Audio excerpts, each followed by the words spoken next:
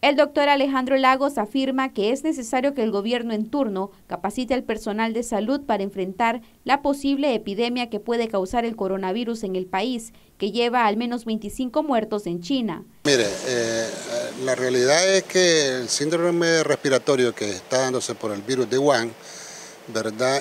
Aunque geográficamente estamos bien retirados, creo que el gobierno tiene todavía la oportunidad de capacitar al personal.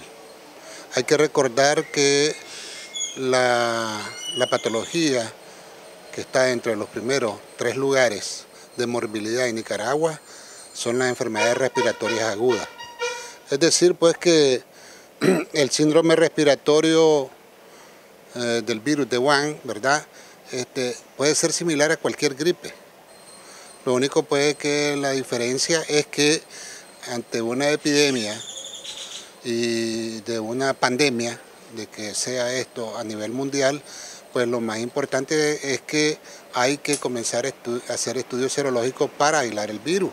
El especialista indicó que en estos casos de epidemia es que el sistema de salud va a sentir la ausencia de médicos despedidos por represalias políticas. Lo primero que tendría que hacer el, gobierno o el Ministerio de Salud es blindar la frontera.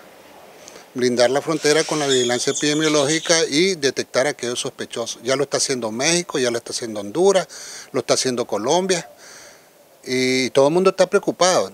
En Nicaragua aunque pareciera retórica, ahora van a sentir la ausencia de ese montón de médicos que despidieron.